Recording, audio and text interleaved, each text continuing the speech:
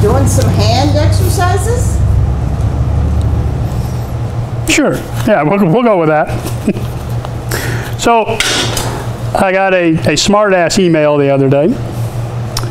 He said, Hey, that was really nice of you to show us about welding, you know, down in a tight little joint with the TIG, you know, pull the stick out out, you know, pull the tungsten out some more, or that fancy little micro torch you have.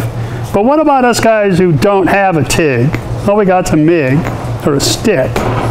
So some of you may remember from an earlier video, gentleman was working with a really, really tight little angle. He needed to be able to get down in there to weld that joint. Here's a couple different ideas for you. First off, don't have the joint. Don't have that weld that you have to do. Do like I did here. Cut it almost all the way through, bend it back around. Now you don't have to get that inside joint. Now all you have to do is make a piece to fit in here to finish off your angle that you wanted, and you can do all these outside joints. That's one way to get around it.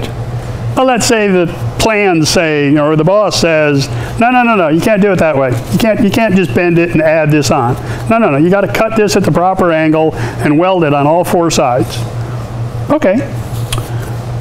First imagine that this is cut in two, and this is you know a nice proper joint. Imagine that. One thing you can do is cut a gusset. Something that will fit down in that joint. Just something to fill that joint in that way. So now all you have is this outside weld and this outside weld, and then the two insides, but they're farther up out of that joint. A little easier to get a MIG, MIG gun in there, so you can weld them in there. But that piece of metal would run the whole length. That gusset would run the whole length of the joint. Right. Remember, all of this comes out of the scrap bucket before we start shooting a, a video here. Um, so that, that's one way to get around it. You know, outside welds, you know, farther out of your joint, that's another easy way to do it. But let's say the boss still says, no, no, no, no, no, can't use a gusset. That's not in the plans. You still have to get down inside that joint. Can I use a stick? Here's a 330 seconds, uh, 6011. It'll reach right down in there, no problem. So you can just go in there and stick this portion of it and then MIG the rest of it. You know, MIG your, the rest of your joint if you want to. Course, another possibility, if you have the time, oxyacetylene. Nice small tip. That'll reach down in there also. You know, that'll, that'll let you get that joint down in there. So let's just do a couple of these. Let me weld that gusset in with the MIG, and then maybe I'll try a little trick with the MIG and see if I can actually get the MIG to do it. So let me get my helmet and set this up. So I'm using the Everlast Power MTS 251 SI. That's a, they're a multi-purpose machine. And let me just go ahead and MIG this part in, and then we'll try a trick.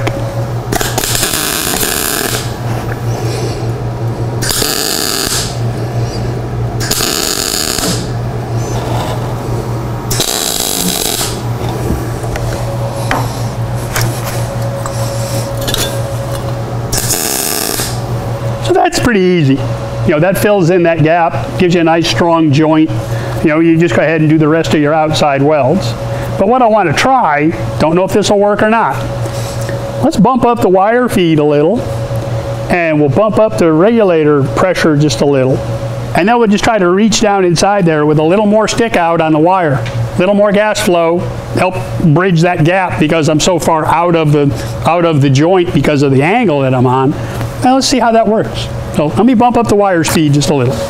So what I did was I went from two, uh, 275 inches per minute up to 300 inches per minute. And I went from 50, uh, 15 CFH on the, on the pressure up to 20. And what I'm hoping is, with this little gusset back here, or a dam, if you just put a piece of metal on both sides of your joint where you're working down in a hole now, now you've got a dam set up. Now your inert gas is just going to flood that area, push all the oxygen out, and hopefully we'll get a decent weld out of it. Let's try it, see what we get.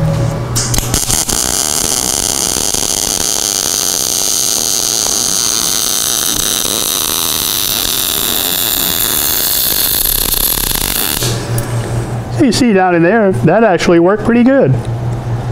Turn the gas up, turn the wire up, reach straight down inside there. Imagine if I had another piece of metal across here, you know, to help make the rest of that dam. Boy, that came out just real nice right in there. That worked great. So I hope that was helpful. Hope that points you in the right direction for what you were doing there. Um, don't forget to hit that subscribe button for me. And don't forget to come out to my website, sign up for my newsletter. I would appreciate it. Well, I'm going to get back to playing, I mean working, and I'll see you guys next week.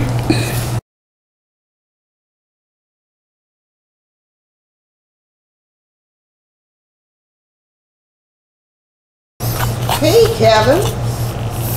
I can't think what to say.